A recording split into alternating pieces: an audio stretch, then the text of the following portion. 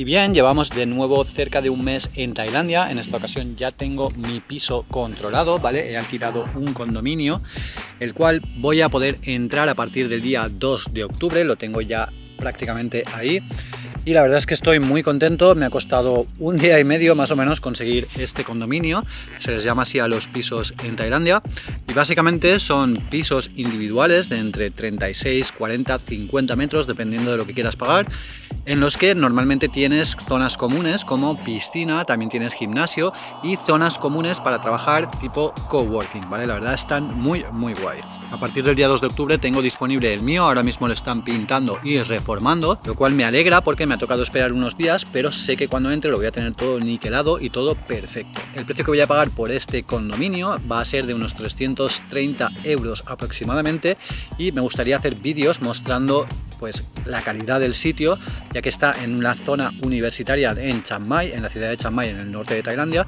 La verdad es que la zona mola un montón porque es una zona muy económica, porque tratándose de la zona universitaria, pues generalmente los universitarios tienen menos dinero, ¿no?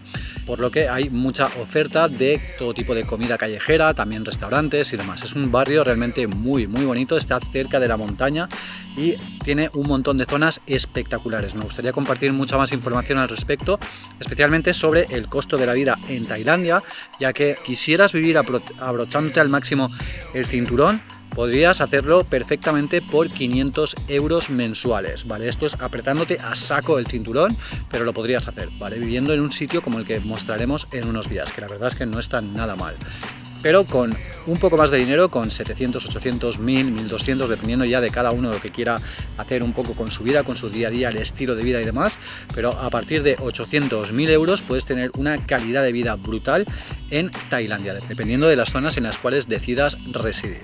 En mi caso me gusta mucho Chiang Mai, aparte de esto también, bueno, ahora mismo estoy en el norte, aquí podéis ver un poco las vistas de la zona en la cual me estoy quedando, que la verdad es que es espectacular. Y nada, me gustaría saber cuál es vuestra opinión al respecto sobre, pues bueno, subir este tipo de contenido respecto al estilo de vida en Tailandia, cuál es el costo de la vida aquí, cuánto cuesta comer, alquilar un piso como el que mostraremos en la próxima semana, alquilar o comprar una moto, qué tipos de visado existen. Ahora mismo tengo el tipo de visado de turista, ¿vale? Que actualmente desde el 1 de julio es de dos meses, lo cual no está mal porque un mes pasa voladísimo. Y bueno, próximamente tendremos el visado de eh, permiso de trabajo, el cual ya nos permite estar un año en Tailandia y nos permite realizar muchas más acciones muy interesantes. Así que nada, si te gustaría que compartiéramos todo este tipo de información, te animo mucho a que te dejes un super like y te suscribas.